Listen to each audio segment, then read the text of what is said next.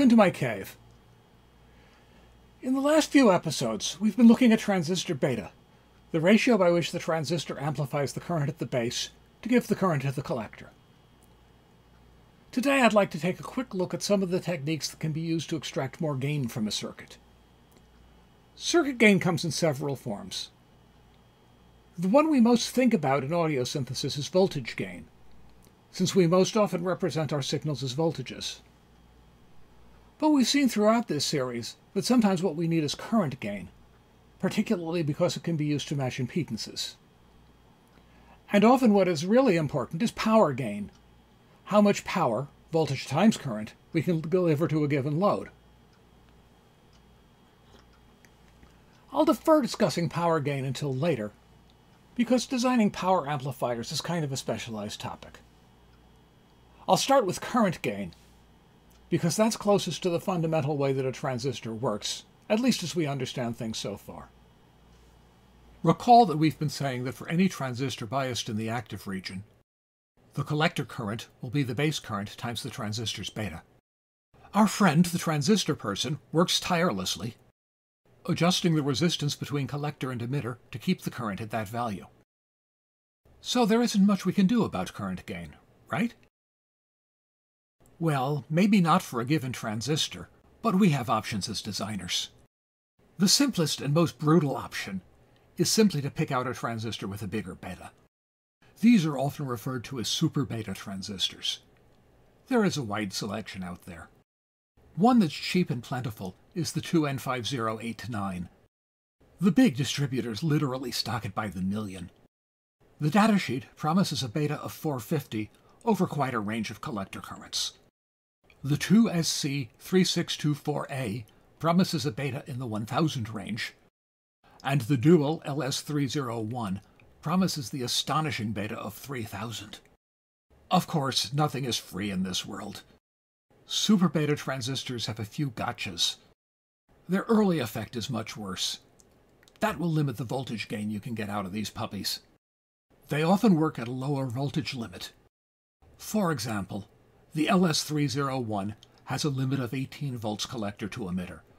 You won't be able to run it off plus or minus 12 volt op amp supplies. And the beta is often specified at an inconveniently high current. For instance, the 2SC3624A is specified at a collector current of 1 milliamp. That will often mean you need quite a small emitter resistor, which would imply a small base resistance, which would defeat the purpose of having such a high beta in the first place. So, as always, read the datasheets carefully. With all this said, these transistors are really popular as preamplifiers for low-level signals. In those, you also have to watch out for noise, but low noise design would need a whole other series to explain. The remaining ideas to boost current gain all come from the simple idea that you can take a circuit, say an emitter follower, and boost its current gain simply by driving its base with another follower. Both collectors are going to the same place, so let's just tie them together instead of drawing two power symbols. The physicist Sidney Darlington drew just this circuit in 1953 and noticed that the pair of transistors look like a single three-legged device that replaces the original transistor. He realized that this device could replace a transistor in other contexts. We now know this device as the Darlington pair. To look at the Darlington pair in more detail, let's redraw it with labels for all the currents. It's not too hard to analyze. The base of Q2 and hence the emitter of Q1, are at a diode drop above the emitter of Q2. The base of Q1 is a diode drop higher than that. Q1's beta tells us its collector current, and Kirchhoff's law gives the emitter current, which is also Q2's base current. Q2's beta then gives us its collector current, and Kirchhoff's current law sums the two collector currents. Where does all this algebra get us? A Darlington pair does indeed replace a single transistor. Its beta is approximately the product of the betas of the two transistors in the pair. Its base emitter drop is two diode drops rather than one. Let's build one on the breadboard and see it working. Here's what I'll breadboard. There's the Darlington pair that we looked at. I'll send it a 5 volt signal through a 3.3 megohm resistor to simulate a high impedance source. And I'll load it with a white LED with the dropping resistor making it draw about 20 milliamperes. On the breadboard, I'm trying first the single transistor. The LED looks like a glowworm because the transistor doesn't have enough current gain to light it brightly. The meter shows just over 300 microamperes. If I switch the jumper over to make the circuit a Darlington pair, there's plenty of current to make the LED too bright to look at directly.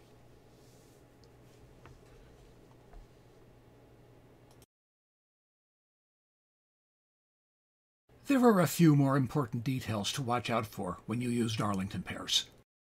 Probably the most important one is that the saturation voltage is always at least a diode drop. To show you why this is, I set up a little simulation on Circuit.js. Link down in the doobly-doo. This Darlington is biased into saturation. What we see happening is that the driver transistor is saturated.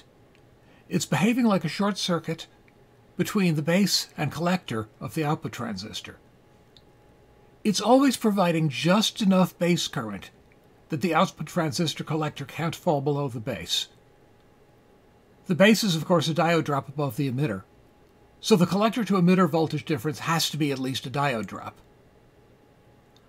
I know this one's a tough concept.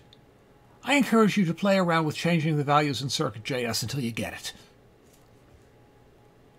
If you're designing the biasing for low voltage circuits, or if you're figuring the power dissipation of the output transistor, you'll need to take the higher saturation voltage into account.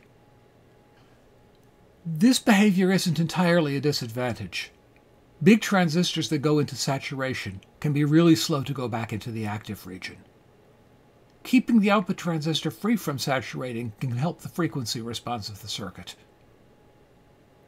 But there's something else working against the speed of a Darlington.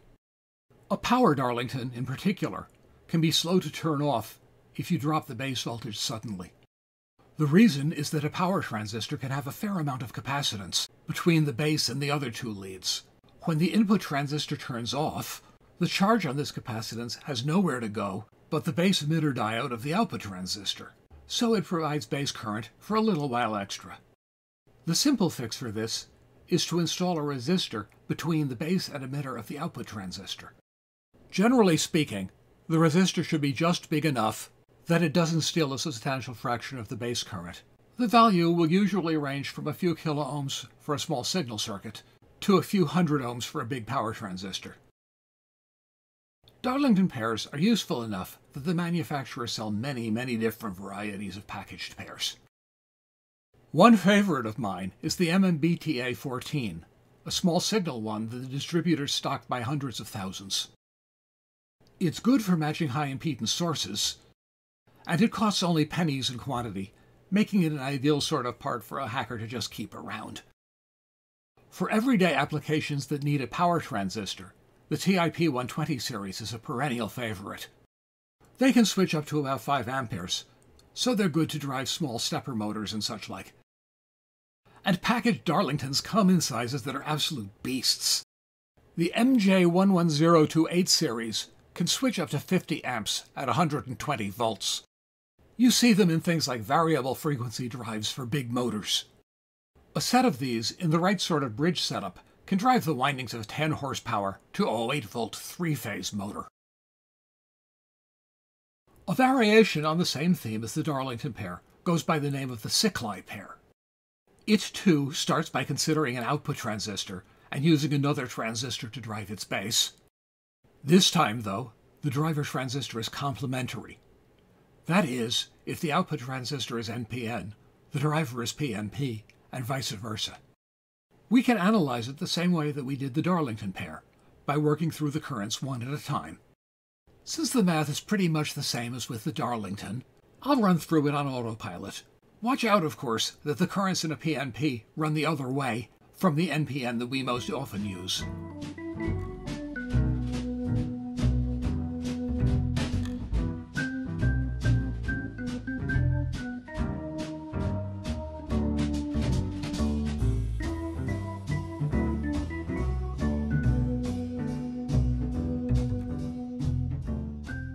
What's the takeaway here?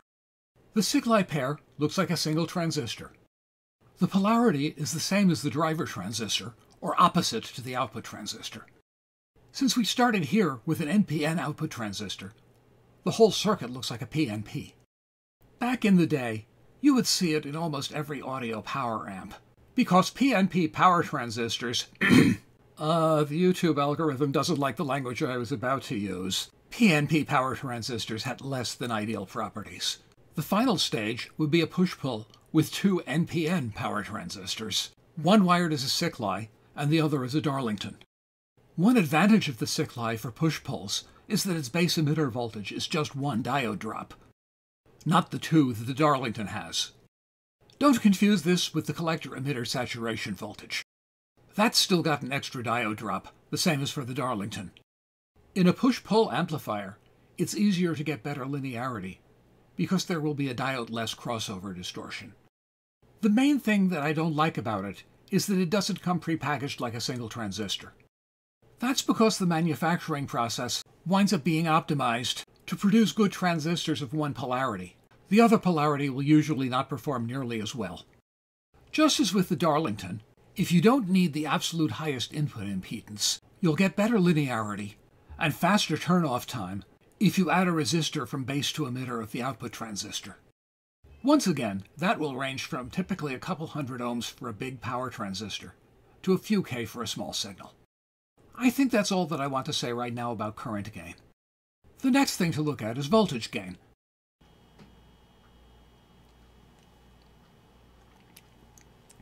But this has turned once again into a longer video than I intended. So I'm going to have to put off voltage gain until next time. Thanks for watching, and I hope you stay tuned for that. Until then, stay safe, stay healthy, stay curious, and take care of one another. Bye!